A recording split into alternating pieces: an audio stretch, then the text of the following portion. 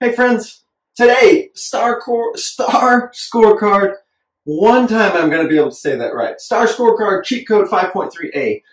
This cheat code, this TEK, is about estimating again, but instead of estimating decimals, it's just estimating to determine solutions. So you're going to estimate and then you're going to add, subtract, multiply, divide. All over the board, you've got to estimate.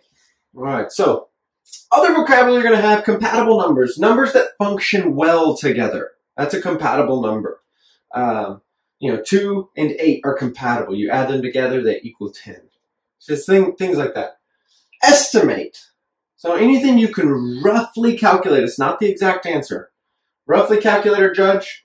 Uh, and then round. Rounding is making a number simpler, but keeping its value close to what it was. So it's simpler, it's a little easier to use, but the value is still close to the, to the true number. Okay? Little less accurate, but easier to use. Estimation language, just like the last video, about a little more, a little less, close to approximately. So number one, Anna pays $618 for six months of music lessons. Okay? So 618 for six months. She pays the same amount for each lesson. Which of the following is the best estimate, rounding, estimate of the amount Anna pays each month? Well, let's do this. 618 divided by 6, because there's 6 months, right? 1. Uh, 1 times 6 is 6, okay? So we'll subtract that, drop the 1, up. That's 0. 0 times 6 is 0. Subtract that, 1, drop our 18. 18.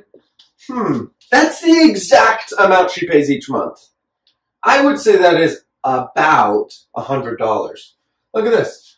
600, 618 rounded to, the nearest 100, divided by 6 is 100. Okay. Five members,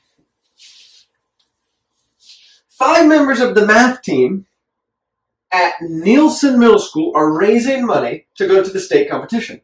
They need between 55 and $80 per person for each day of the trip. Which of the following is a reasonable estimate of the number of the total amount of money they will need for a two day trip?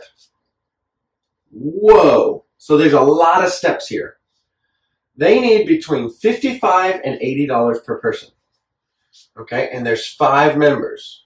Okay, and it's a two day trip. So let's do this. Five times two is 10, right?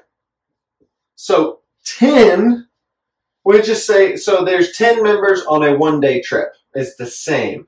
Uh, let's do 10 times 55, right?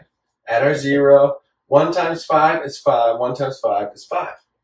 And 10 times $80. One times zero is 0, 1 times eight. Okay, so they need in between these two numbers. So, what do we think? There's only one answer in between. And guys, I want to show you some of these estimating problems. I didn't estimate anything. I did the literal 10 times 55 and 10 times 80. Okay? And if we wanted to, we could have done 5 times 55 and 5 times 80 and then multiplied that number by 2. But you can just multiply the 2 times 5 first. It's fine. Number 3.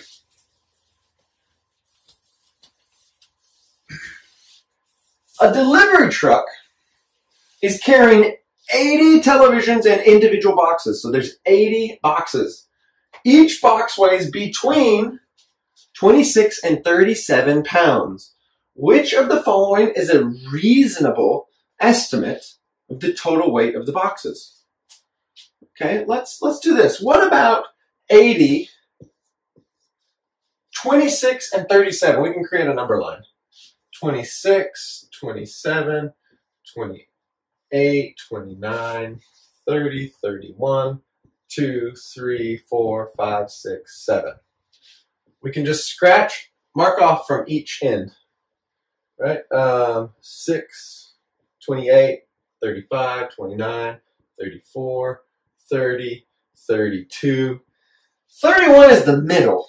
So let's just say 30. 80 times 30 this is estimating, and it's simple. These are compatible numbers. 8 times 3 is 24, and we have two zeros.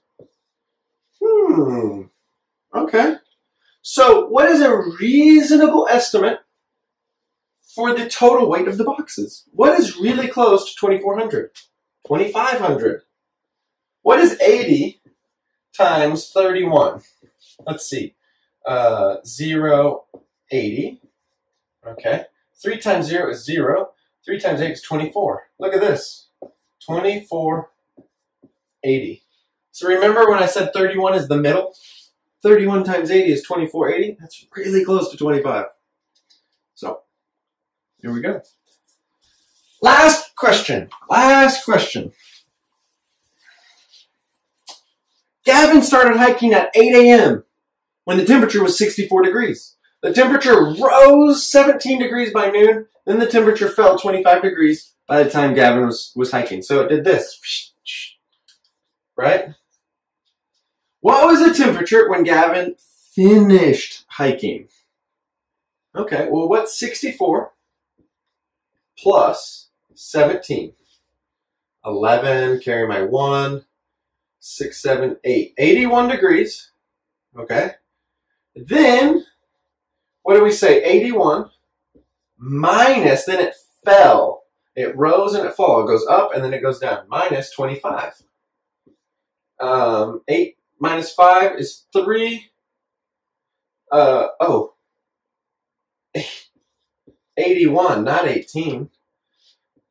7, okay, so 1. 11 minus 5 is 6.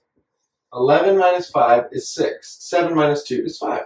It finished at 56 degrees. In this question, we have to write in our answers. So, guys, hope this video helped. I will uh, see you next time.